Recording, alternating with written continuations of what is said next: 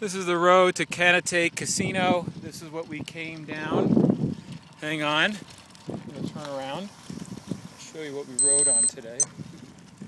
This is this is what we just rode down from the top of that bluff over there. We came down this road all the way down. This is Oregon. Looks like the Wild West to me.